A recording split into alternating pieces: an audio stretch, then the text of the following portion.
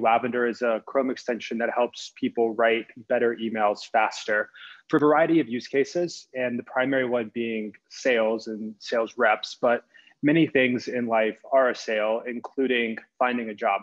So prior to Lavender, our team was building a psychology based marketing tech product. We had just finished up some successful pilots. We were all set to launch in around March of 2020. And then COVID kind of happened. Everyone stopped investing in marketing spend. There was tons of uncertainty. We had this product we had built that part of it included analyzing marketing copy and looking for things that were predictors of successful ad campaigns either for an email campaign or like a Facebook social campaign. And we kind of had no options on where to sell it. We were about to launch a product in COVID when everyone was not spending in marketing.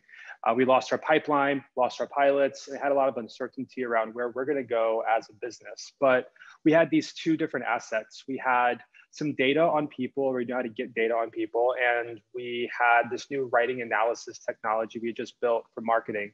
And we saw this massive shift to remote first. And we thought, by the very nature of going remote, people are going to be sending more emails. And we thought there were a lot of different use cases for where this could be applied. Like taking our technology that had been used to analyze marketing copy for one to many campaigns and then tweaking it to be more for one to one emails. We thought this could help people that were trying to find jobs, people that were trying to find employees, human resources, sales, customer success, marketing. There were many, many use cases. And the one that was the most immediate in that point in time was people trying to find jobs.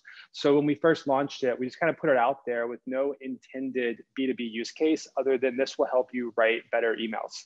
And a lot of people picked it up for helping them find jobs.